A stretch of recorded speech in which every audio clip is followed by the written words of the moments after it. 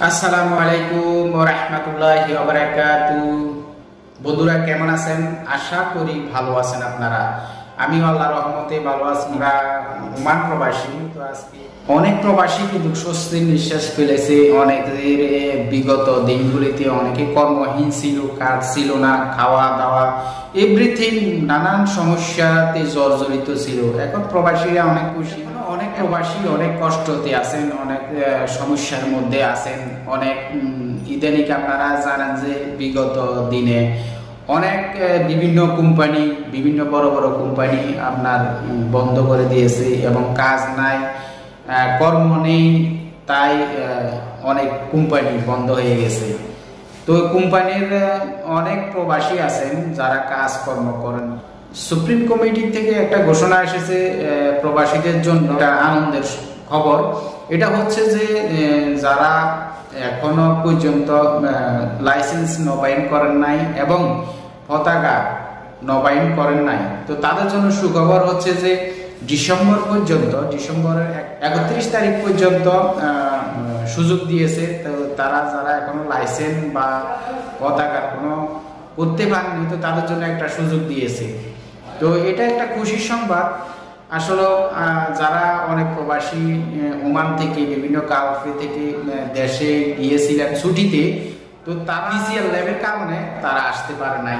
অনেক সমস্যার মধ্যে অনেক প্রবাসী এসেছেন এক বছর, দেড় বছর ফার হয়ে গেছে।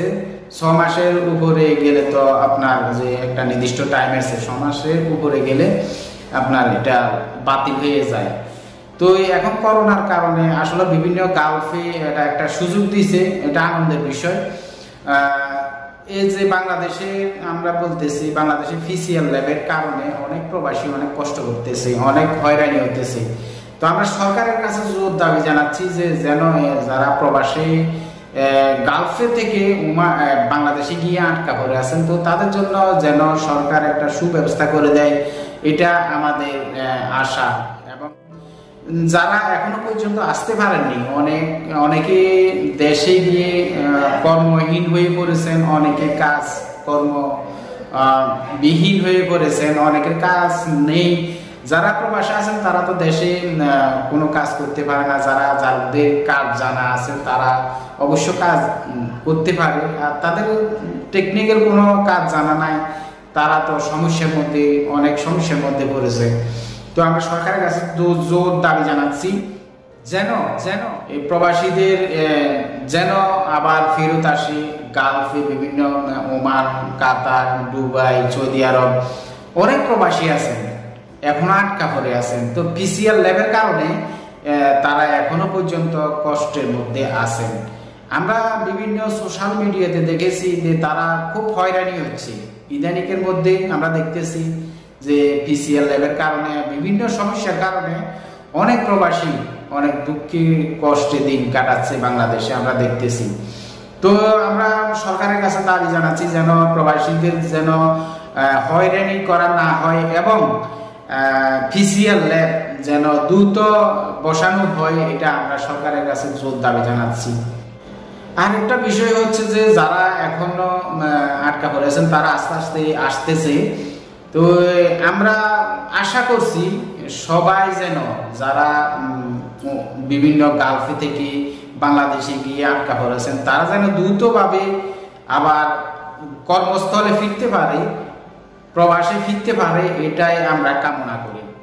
এখন বিভিন্ন দেশে মোটামুটি স্বাভাবিক হচ্ছে, বিভিন্ন কাজকর্ম হ্যাঁ ব্যবসা বাণিজ্য মোটামুটি স্বাভাবিক হচ্ছে। কারণ করোনা করোনার ধাক্কাতে সারা পৃথিবীতে হিমশিম খেয়ে। গেছে। বাংলাদেশে পিসিএল ল্যাব বসানোর কার্যক্রম শুরু হয়েছে। আমরা বিভিন্ন সোশ্যাল মিডিয়াতে দেখেছি। তো যেন দ্রুত এটা কার্যকর হয়, এটাই আমরা কামনা করি। আর একটা বিষয় হচ্ছে যে অনেক প্রবাসীরা কিন্তু হয়রানির শিকার হয়, এটা আমি আগেও বলেছি। তো তারা যেন শিকার না হয় হয়রানির শিকার না হয়, তারা রেমিটেড যোদ্ধা। যারা আমরা প্রবাসে আছি, আমরা ইনকাম করে বাংলাদেশে পাঠাই টাকা। হ্যাঁ আমাদের ফ্যামিলি চলে প্রায় ব্রাদার চলে, দেশের সরকার চলে। হ্যাঁ আমরা যে আপনারা বলবেন যে সরকার কেমনে চলে? আমরা যে টাকাগুলো পাঠাই বিভিন্ন ব্যাংকের মাধ্যমে তো এই ব্যাংক থেকে, এটা ইন্টারেস্ট তো পাচ্ছে বাংলাদেশ সরকার তো ইন্টারেস্ট পাচ্ছে অত আপনারা বলতে পারেন যে সরকারে কীভাবে টাকা পায়? আমরা যে ব্যাংক বিভিন্ন ব্যাংকে আমরা টাকা পাঠাই হ্যাঁ? তো এগুলার তো ইন্টারেস্ট সরকারের খাতায় যোগ হয়, তাই না? সকল প্রবাসী যেন ভালো থাক, সুখে শান্তিতে বসবাস করুক, এবং যার যার কর্মস্থলে এসে কর্ম, কাজ করার সুযোগ পাই, এটাই আমরা কামনা করি। তো বন্ধুরা, ভিডিওটা ভালো লাগলে লাইক করবেন কমেন্ট করবেন এবং সাবস্ক্রাইব করতে বলবেন না। বন্ধুদের মাঝে শেয়ার করতে বলবেন না। আসসালামু